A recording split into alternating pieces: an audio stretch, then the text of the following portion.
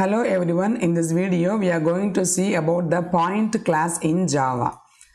So here the point class helps to plot a point on the screen. So by the by connecting the points you can draw vertical line, horizontal line or any polygon. So let us see how we can draw the polygon using this point class. So import java io.star. So this is for the input output and then here import java.util. This is for the utility. You are using some utility class over here and then import java.awt. Okay and then class main public static void main string args throws io exception. Actually what does it mean is this is the main class. Normally we start with public static void main and string is the type of the variable uh, by which the arguments are got through. But here this throws io exception is added over here in order to handle the io exception that occurs. So if any error occurs in the input output this will be thrown by this statement. That is throws io exception and open the brace string. S we are just creating a object are called s which is of the class string. Okay and then uh, otherwise it is an string type data s int x comma y the two variables and then system dot out dot println. So here we are just typing the message on the screen implementation of point so now the next line buffered reader br is equal to new buffered reader new input stream reader of system.in so this is one of the input statement from which we can read the data from the buffer. So buffer reader like we have done in the previous example using the scanner, we are using a buffer. This is also one of the means of getting the input. Okay, so here br is an object and here it is clear that buffer reader is the class name and br is the object name that is created through the new operator. So again the buffer reader from where we are creating this is from the input stream reader. So we know that system has both input and the output class. So this in class will have the reader. Likewise the out class will have the writer. Okay. So now we are getting this through the in class. We are we are assigning the reader in order to get the value from the buffer. So this is what the meaning of this buffer reader line.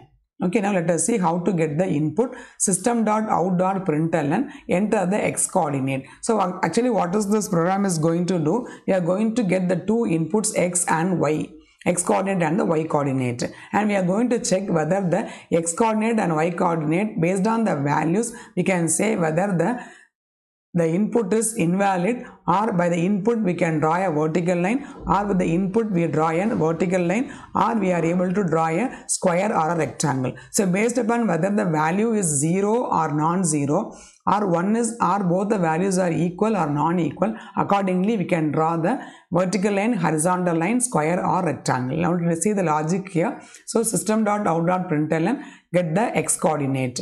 So here s is equal to br dot read line here s is the variable which is getting the value from the read line function on the object br that is the meaning of this line br dot read line. So this line is this line is the method or a function which is which will get the input through the object br and it is assigned to the variable s okay so now we know that what are all the input we got through is always an string in java so that has to be converted into an integer in order to make us as a numerical value. So how to do this? That is done by the parse int function. So integer is the class. So integer is the class and parse int is the method of the class.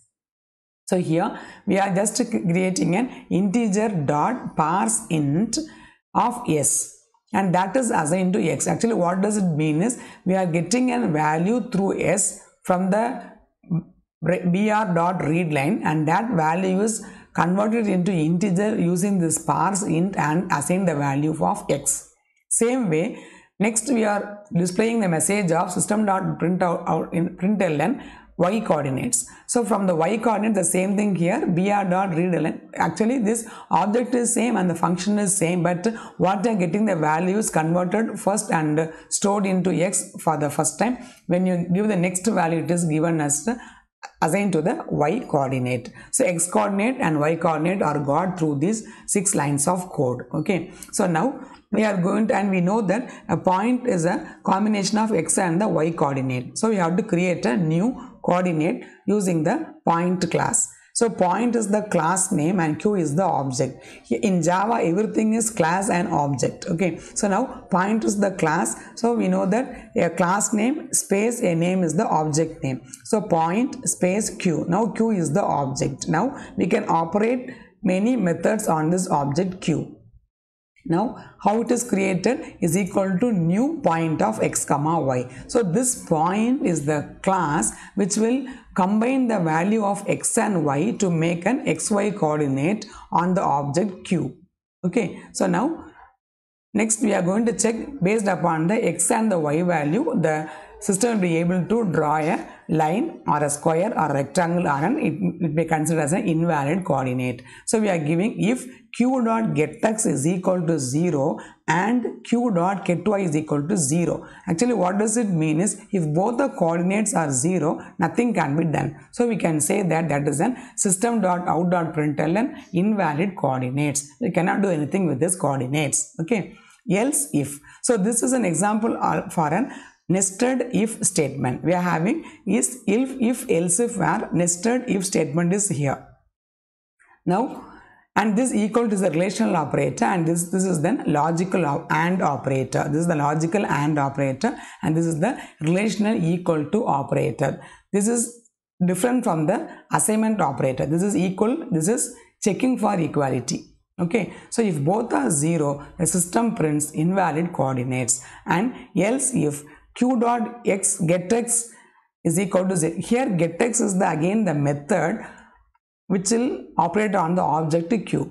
Okay, so if q dot get x is equal to 0 then the system displays it can draw a vertical line because for a vertical line y has y value y coordinate has some value where x is 0 same way if q dot get y is equal to 0 that means the q coordinate actually if y it is 0 we can draw only an horizontal line. Okay. So for the horizontal line we need x value. Or vertical line we need the y value. Okay. So now next is if q dot get x is equal to q dot get y if both the coordinates are same means we are, can draw a square because we know that the sides of the squares are equal and now if this is not the case so if all the conditions are false then it is assumed that the value of get x is not equal to the value of get y. That means x and y are having different values but non-zero. So that means we can draw a rectangle. So we can we know that the length and the breadth are different having different values in a rectangle. So when the values of y and x are different, if all the cases are false then naturally x value and y values are non-zero but they are different values. So we can draw a rectangle with this x and the y values. So that's all the program and we have to close the braces for the main and the class. Now let us see how the output looks like so implementation of the point, enter the x coordinate. So I have given all the combination output for the, all the combinations. So I have given x as 0 and y as 56. So vertical line can be drawn. So next execution I have given x has some value but y is 0. Then the system gave the messages what horizontal line can be drawn. Okay. And next Next execution x and y same values given 50 and 50 so the answer is square. The square can be drawn with the same values. And next execution x has value as 25 and y as 56 so the x and the y values are different. So we can draw a rectangle by this val values. And finally uh, given x is equal to 0 and y is equal to 0 and here this they are the invalid coordinates. So that's all the program. So the program explains how the point class can be used to, assign the x and the y value that is got through the that, that gone through the buffered stream reader. So that's all the program and thanks for watching.